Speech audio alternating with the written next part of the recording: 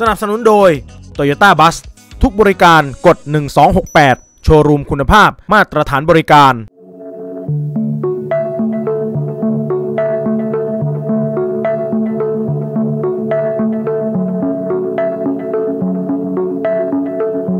หัวหน้าอุทยานแห่งชาติภูกระดึงนายอดิศรเหมทานนท์บอกว่าในช่วงฤดูหนาวของทุกๆปี เมเปิลจะเปลี่ยนเป็นสีแดงสดใสในช่วงราวเดือนธันวาคมถึงเดือนกุมภาพันธ์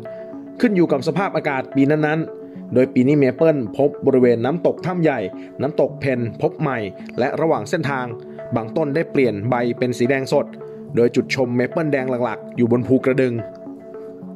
นอกจากนี้ต้นเมเปิลที่สมเด็จพระเจ้าลูกเธอเจ้าฟ้าพัชรกิติยาภานเรนทิราเทพยวดี กรมหลวงราชสารินีสิริพัชร มหาวชระราชธิดา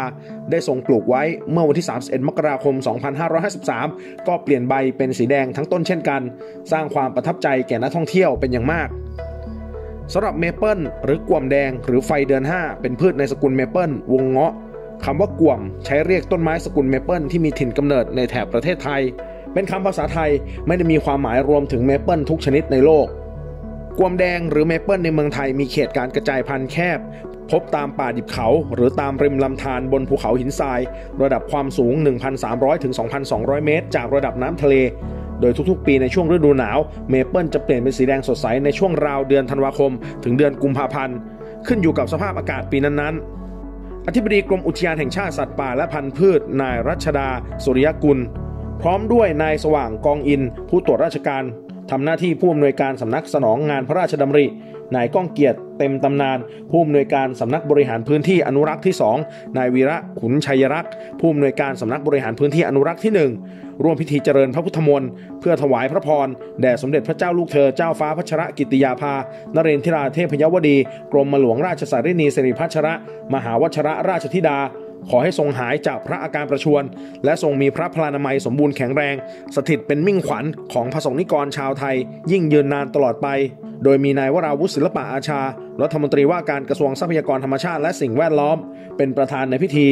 พร้อมด้วยนายจตุพรบุรุษพัฒน์ปลัดกระทรวงทรัพยากรธรรมชาติและสิ่งแวดล้อม นำคณะผู้บริหาร พนักงานเจ้าหน้าที่และประชาชนเข้าร่วมพิธี ณบริเวณลานเขตรักษาพันธุ์สัตว์ป่าเขาอ่างลือใน จังหวัดฉะเชิงเซา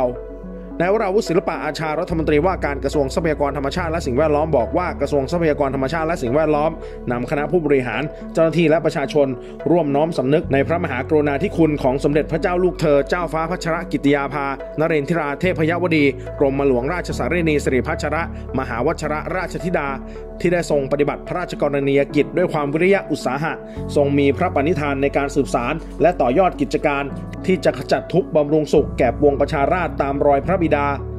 โดยใต้ฝ่าพระบาททรงใช้ความรู้ความสามารถในด้านต่างๆ ก่อให้เกิดประโยชน์แก่ประเทศไทยอาทิ ด้านกฎหมาย ด้านสาธารณกุศล ด้านการทหาร ด้านการต่างประเทศ โดยเฉพาะอย่างยิ่งใต้ฝ่าพระบาททรงเป็นองค์ประธานกรรมการมูลนิธิพัชรสุธาคชานุรักษ์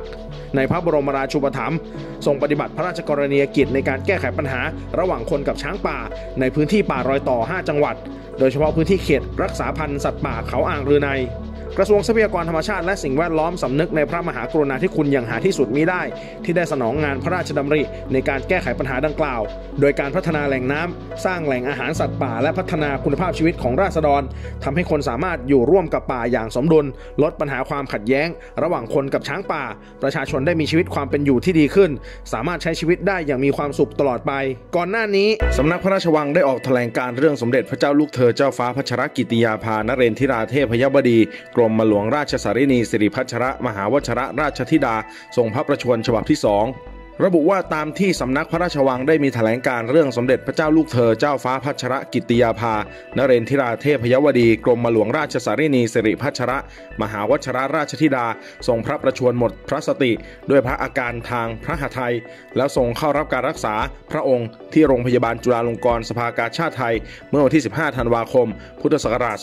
2565 ความทราบทั่วกันแล้วนั้น คณะแพทย์ผู้ถวายการรักษาสมเด็จพระเจ้าลูกเธอเจ้าฟ้าพัชรกิติยาภา นเรนทิราเทพยวดี กรมหลวงราชสารินีสิริพัชระ มหาวชระราชธิดา ได้รายงานว่าพระอาการโดยรวมคงที่ในระดับหนึ่ง จังหวะการเต้นของพระหทัยควบคุมได้ด้วยพระโอสถผลการตรวจพระหทัยพบว่าพระหทัยยังบีบตัวได้ไม่ดีเท่าที่ควร ผลการฉีดสีของหลอดเลือด พระหทัยไม่พบความผิดปกติ คณะแพทย์ได้ถวายพระโอสถและเครื่องมือเพื่อช่วยการทำงานของพระหาไทย พระปรับภาษะพระวกะ และติดตามพระอาการอย่างใกล้ชิดต่อไป จึงประกาศมาให้ทราบโดยทั่วกัน สำนักพระราชวัง 19 ธันวาคม พุทธศักราช 2565 แถลงการสำนักพระราชวัง เรื่องสมเด็จพระเจ้าลูกเธอเจ้าฟ้าพัชรกิติยาภา นเรนทิราเทพยวดี กรมหลวงราชสารินีสิริพัชระ มหาวัชระราชธิดาทรงพระประชวร เมื่อวันที่ 14 ธันวาคม พุทธศักราช 2565 เวลา 18 นาฬิกา 20 นาที สมเด็จพระเจ้าลูกเธอเจ้าฟ้าพัชรกิติยาภา นเรนทิราเทพยวดี กรมหลวงราชสารินีสิริพัชระ มหาวัชระราชธิดา ทรงทำการฝึกสุนัขทรงเลี้ยงที่จะเข้าแข่งขันสุนัขใช้งานตามมาตรฐานสากล ในรายการ Thailand Walking Dog Championship by Royal Thai Army 2022 ระหว่างวันที่ 10 ถึง 19 ธันวาคม พุทธศักราช 2565 ณ สนามฝึกกองพันสุนัขทหารอำเภอปากช่อง จังหวัดนครราชสีมา ในระหว่างที่ทรงทำการฝึก ทรงมีพระอาการประชวรหมดพระสติ ด้วยพระอาการทางพระหทัยคณะแพทย์ประจำพระองค์จึงได้เชิญเสด็จ พระราชดำเนินไปปฐมพยาบาล ณโรงพยาบาลปากช่องนานา พระอาการประชวรคงที่ในระดับหนึ่ง จากนั้นได้เชิญเสด็จประทับเฮลิคอปเตอร์พระที่นั่งเข้ารับการรักษาพระองค์ ณโรงพยาบาลจุฬาลงกรณ์สภากาชาติไทย เพื่อถวายการตรวจพระวรกายอย่างละเอียด และประทับรักษาพระองค์ต่อไป จึงประกาศมาให้ทราบโดยทั่วกัน สำนักพระราชวัง 15 ธันวาคม พุทธศักราช 2565